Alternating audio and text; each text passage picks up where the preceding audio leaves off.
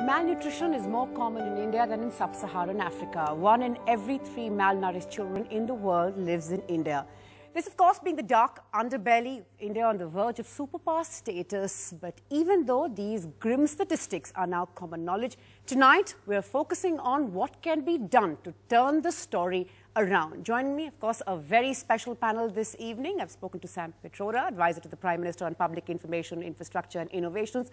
Sharmila Tagore, UNICEF's brand ambassador for maternal and infant health, with us on the program. Uh, Mohandas Pai is also with us, as is uh, Sandeep Dixit, Lok Sabha uh, MP. Also, his colleague Kalikesh Singh Deo, another Lok Sabha MP. And of course, uh, Dr. Reddy, President, Public Health Foundation of India. Thanks all so much for being with us on the program.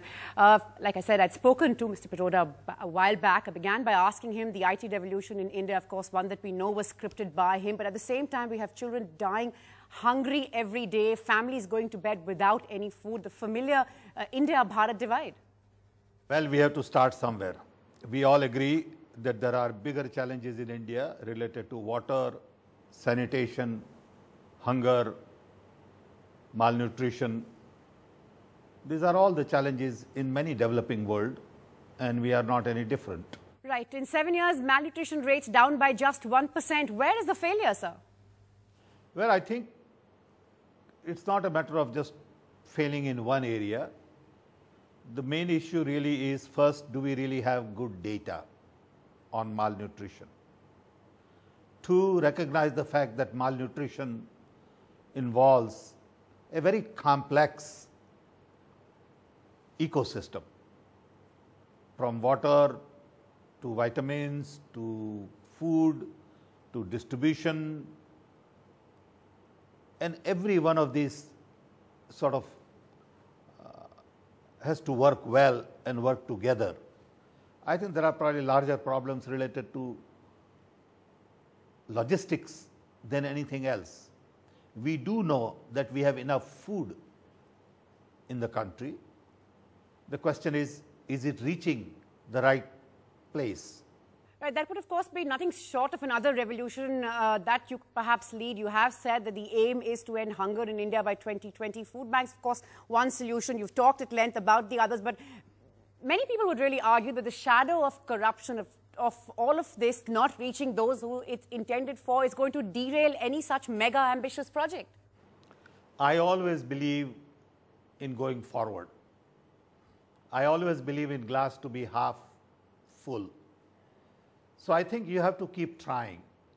You know, if you become cynical and negative, you don't do anything.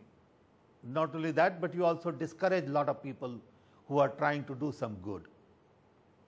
So I believe at the end of the day, community must take responsibility to feed hungry. It is not just the responsibility of the government. All communities take responsibilities to feed local hungry people, whether they are children or others. And there also I believe logistics will play an important role. And that's where technology intervention is going to be critical.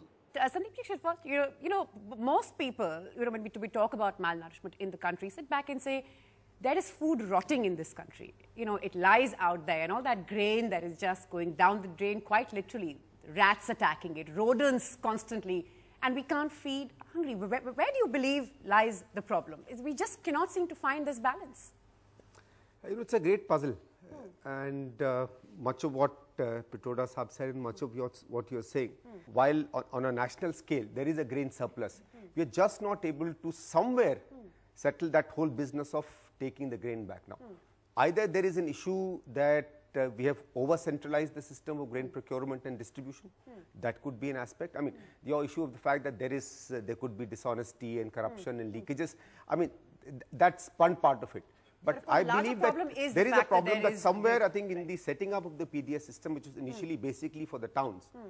we've kind of somewhere uh, broken the natural cycle hmm. of distribution, production and distribution in local communities and maybe something of this exists mm. from there because mm. what has also puzzled me is that you know I've been uh, I, you know in my days of working with non-governmental organizations I've been working since 87 mm. and I myself saw that there is more grain today There is more variety of food today. Of course, cereal, the core cereals have gone. That's a tragedy. But in some senses, there is more availability. Right. Somewhere there is more money in the pocket. I'm not saying it's a massive change, but there is. In spite of that, this critical aspect has been stagnating. Right. And that's saddening, that's worrying. India's number one news app. Just got even better. Download NDTV's new app. Fully optimized for retina display. Full screen view. Faster response time. And Sudoku. NDTV's new iPad app. Download now.